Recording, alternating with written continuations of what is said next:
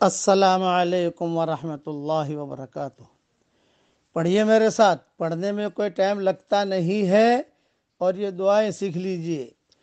پڑھیے، وعنت الوجوہ للحی القیوم بس، یہ جملہ، یہ اس میں اعظم ہے۔ یہ پڑھنے کے بعد اللہ تعالیٰ دعا قبول کرتا ہے۔ جب بھی کوئی حاجت اٹکے اسے پڑھیے اور اللہ سے اپنی حاجت مانگیے۔ میں سفر میں ہوں، دعا کرتا ہوں کہ اللہ اس امت کی اجتماعی اور انفرادی پریشانیوں کو دور فرما۔ اور اے اللہ، ہمارے دین کے سورج کو عروج نصیب فرما۔ پڑھ لیجیے، پڑھوا لیجیے، آگے بھیج دیجیے۔ جتنے لوگ پڑھیں گے، یاد کریں گے، انشاءاللہ آپ کو بھی اجر ملے گا، مجھے بھی اجر ملے گا۔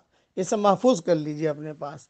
اللہ تعالی ہم سب کی دعاؤں کو قبول فرمائے اور ہم سب کے جائز مرادوں کو اللہ حافظ سے پورا فرمائے اور اللہ تعالی ہم سب کی پریشانیوں کو دور فرمائے اور جو بیمار ہو اللہ ان کو بھی شفا عطا فرمائے اور جس کے دل میں جو جائز مرادیں ہوں، اللہ تعالیٰ اسے عافیت کے ساتھ پورا فرما کر اس میں خیر کی شکلیں اور صورتیں پیدا فرمائے۔